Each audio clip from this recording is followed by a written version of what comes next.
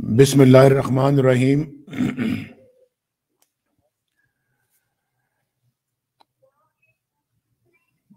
जी, बीच में खलल पड़ गया था, मैं दोबारा अपनी तकरीर का आगाज़ करता हूँ।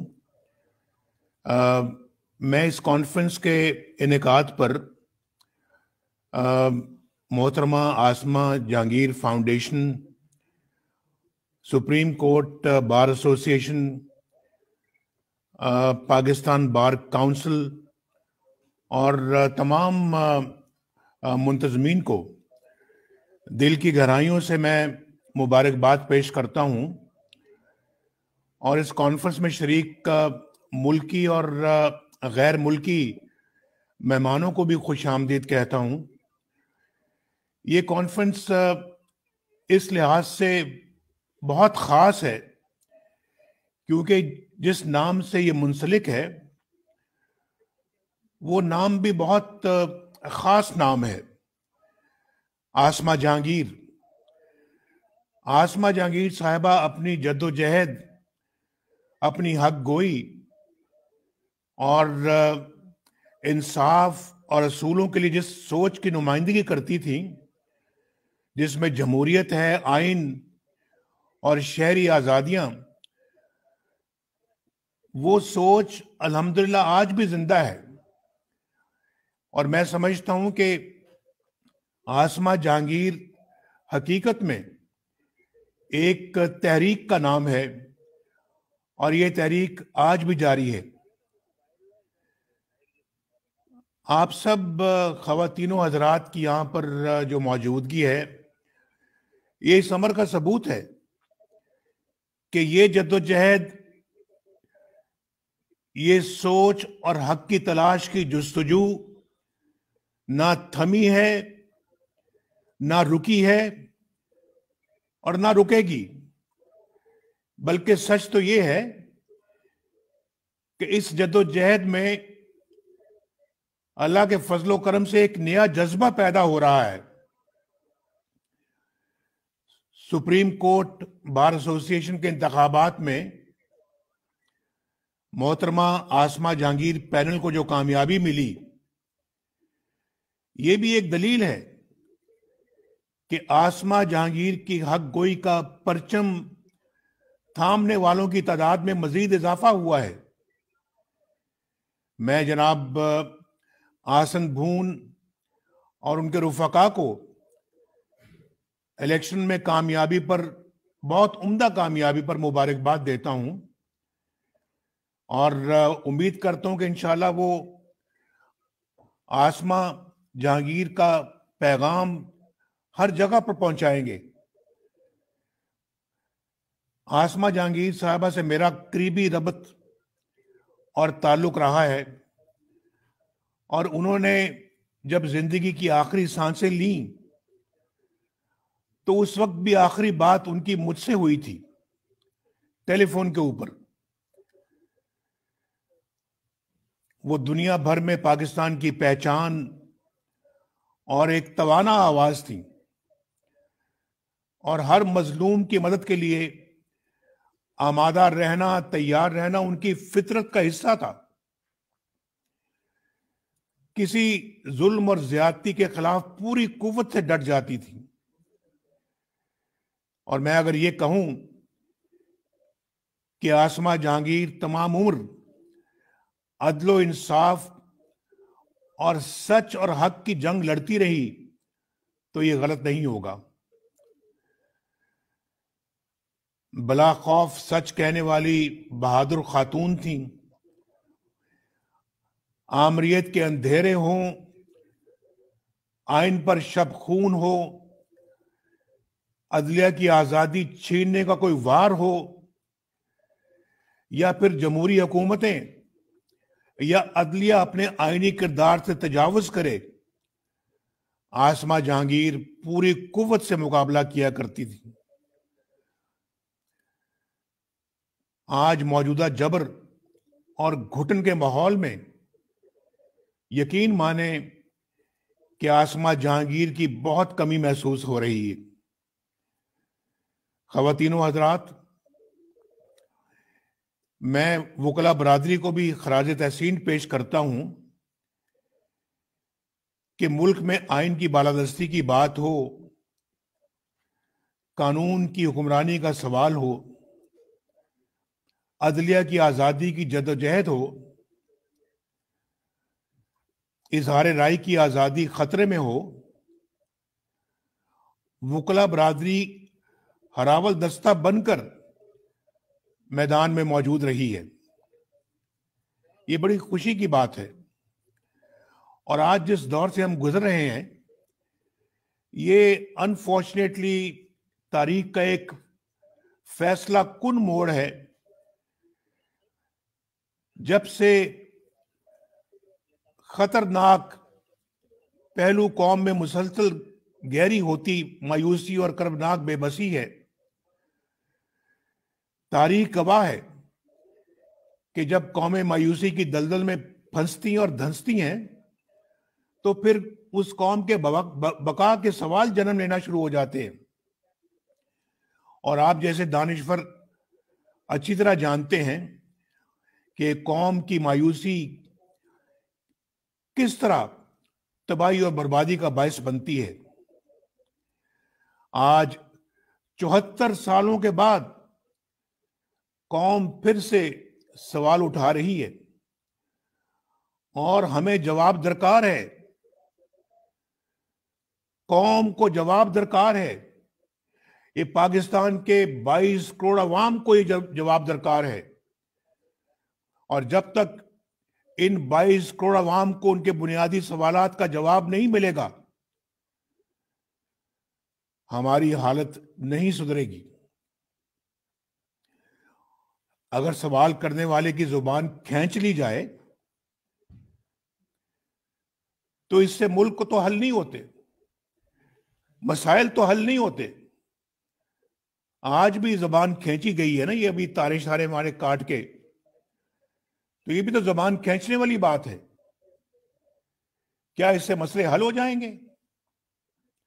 और फिर सवाल करने वालों को उठा लेने या गायब कर देने से सवाल खत्म हो जाएँगे। बदकिस्मती से मौजूदा दौर जो है, ये फ्रीडम ऑफ़ स्पीच और ह्यूमन राइट्स के हवाले से सियातरीन दौर साबित हुआ है। सियासी मुखालफिन हो, सहाफी, कॉलम निगार या सच बोलने वाली कोई आवाज़ हो, उसको अपने सवाल की बदाश में गायब कर दिया जाता है या कैद कैद कर दिया जाता है? या फिर जो कुछ होता है सलूक वो आप जानते हैं? गोलियाँ मारी जाती हैं।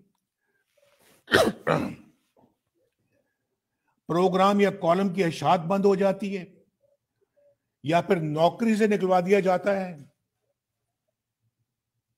ऐसे स्या कवानीन तैयार किए गए, जिनका मकसद सच बोलने की ज़ुबान बंद करना है। और ये हमने खुद अपनी आँखों से देखा है, अभी हाल ही में देखा है। और कब से देख रहे हैं कि आइन यहाँ टूटते हैं, कानून यहाँ टूटते हैं, अदालतें यहाँ टूटती हैं, और मनपसंद जजों से अपनी मर्ज़ी के फैसले यहाँ लिए जाते हैं। डिक्टेटरों को लेजिटिमेसी यहाँ मिलती है, और रियासत के ऊपर रियासत यहाँ चलाई जाती है। पॉलिटिकल इंजीनियरिंग की फैक्ट्रियाँ यहाँ लगाई जाती हैं। वोट को इज़्ज़त यहाँ नहीं मिलती। और आरटीएस यहाँ बंद होता है। वोट यहाँ चोरी होता है। यहाँ मुंतब हुकूमतों के खिलाफ धरने करवाए जाते हैं। करवाए जाते हैं, किए भी जाते हैं और करवाए भी जाते हैं।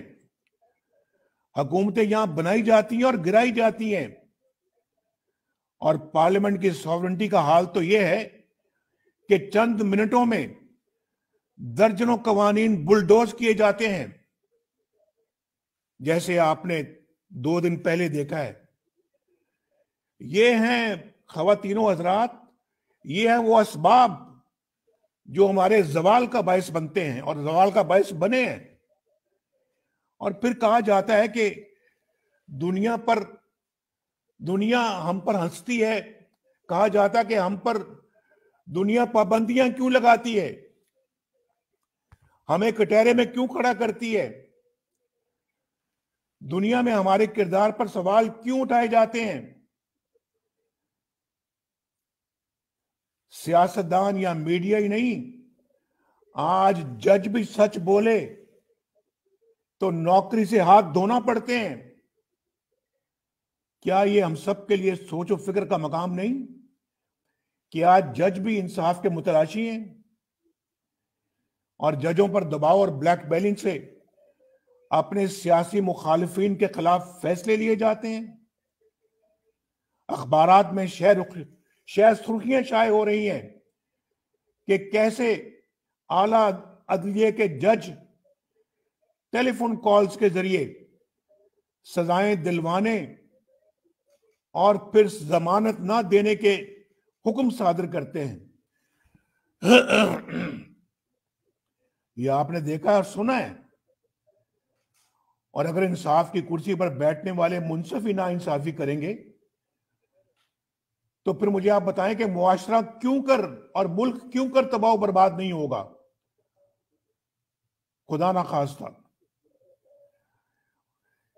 क्या इस अदारे और इंसाफ की कुर्सी पर बैठे मुनसफ को सोचना नहीं चाहिए कि पाकिस्तान की अदलिया बैन अवी इंसाफ के इंडेक्स में कहाँ खड़ी है?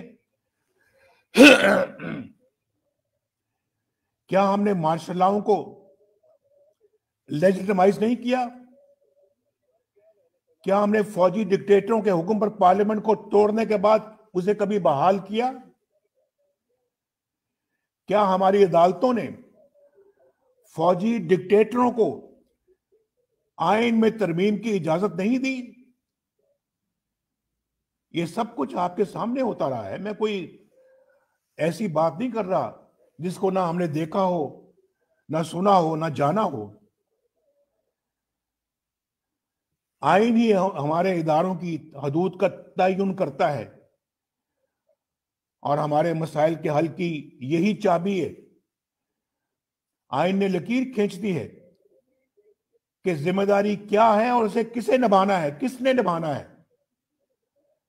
इससे बड़ी बदनसीबी की बात क्या होगी कि इस मुल्क के अंदर डिक्टेटरों ने सरेआम कहा, यहाँ तक कह दिया कि आइन कागज़ का एक टुकड़ा है जिसे रद्दी की टोकरी में फेंक दिया जाए। ये अल्फाज हैं, आपने भी सुने हैं, मैंने भी सुने हैं। टीवी पर भी सुने हैं, अखबारों में भी पढ़े हैं। तो मेरे मुआज़ बहनों और भाइयों, हमें भी तो फिर अपना मुहासबा करना होगा। और कहीं ना कहीं से तो शुरुआत करना होगी। क्या इस कौम की किस्मत में यही लिख दिया गया है कि हमने दायरों का सफ़र ही जारी रखना है?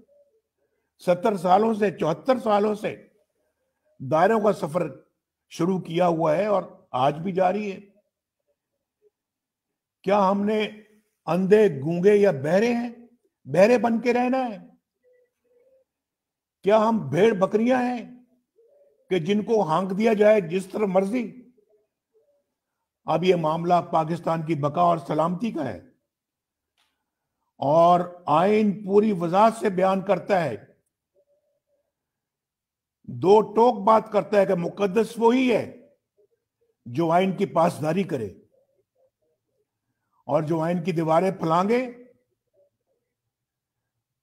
वो मुकद्दस नहीं, बल्कि आइन का मुजरम है, मुल्क का गद्दार है आइन का गद्दार है। और अगर आज हमने वक्त की पुकार ना सुनी और अपनी इसलाह ना की तो हमारा मुस्तकबिल बहुत तारीख हो सकता है। पहले ही हमारी कौम बहुत हादसात का शिकार हो चुकी है। इस कौम और मुल्क की बका के साथ घनौना खेल अब खत्म होना चाहिए। बंद होना चाहिए।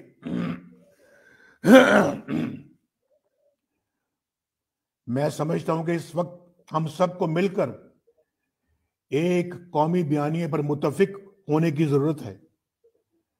आइन की पासदारी, उसके साथ वफादारी और उसकी रोशनी में अपनी हदूद में रहकर फ़राइज की बजावरी, यही हमारे मसाइल का हल है।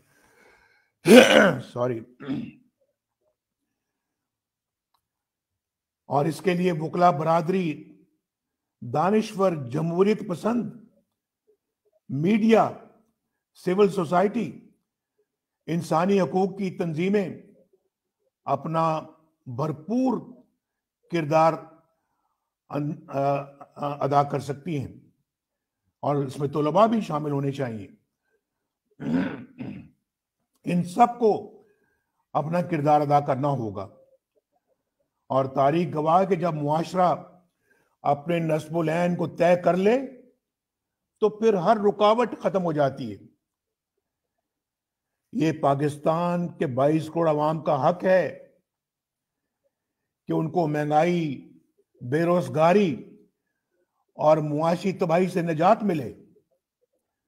उन्हें सेहत, तालीम, इंसाफ के बुनियादी हकूक मैसर आए। और ये किसी भीख या एहसान की सूरत में नहीं, बल्कि अपने हक के तौर पे। दुनिया और खत्े में वकू पजीर सूरत हाल पुकार पुकार कर हमसे इसलाह अहवाल की दहाइयाँ दे रही है। इसलिए मैंने बार बार कहा कि we have to put our house in order और हमें अपनी आँखें खोलनी चाहिए। तो हमारे खिलाफ डॉन लीक्स का ड्रामा रचाया गया। झूठे मुकदमात बनाकर सजाएँ दिलवाई गई। और फिर आपने देखा है कि किस तरह से रुसवा किया गया। लेकिन अब वक्त आ गया है कि हम सबको पाकिस्तान की खातिर और दस्तूर और आइन की हुक्मरानी की खातिर रूल ऑफ़ लॉ के लिए, जमहूरियत की खातिर एक प्लेटफॉर्म पर इकट्ठा होना होगा। एक कौमी एजेंडा बनाना होगा और उसे कौमी तहरीक की शक्ल देना होगी। मेरी गुजारिश है कि इस कॉन्फ्रेंस में दी गई तमाम तजावीज़ और सफारशात की रोशनी में फौरी हमत अमली मुरतब की जाए। सब लोग बैठे सर जोड़कर और एक हमत अमली मुरतब की जाए ताकि अमली जद्दोजहद की राह अपनाई जा सके। ये बहुत ज़रूरी है। हम बहुत लेट हो चुके हैं और मजीद ताखिर के हम मुतमल नहीं हो सकते। इस काम को आज ही बैठ के किया जाए, आज ही ताकि जो कॉन्फ्रेंस हो रही है और जो कुछ हम सोच रहे हैं, कह रहे हैं और जो पूरा मुल्क कह रहा है, पूरी कौम कह रही है, उस पर फौरी तौर पर फिर अमल शुरू किया जाए। और मुल्क को इस इस गहरी खाई में जो हम गिर चुके हैं, उससे दोबारा उठाया जा सके, निकाला जा सके और दोबारा अपने अपने मंजिल की तरफ़ हम इसको रवाना कर सकें। अगर ऐसा ना किया तो फिर इसको दोबारा निकालना, उठाना नामुमकिन हो जाएगा और तारीख आपको और मुझे, हम सबको माफ़ नहीं करेगी। आप सबका बहुत बहुत शुक्रिया। पाकिस्तान पाइंदाबाद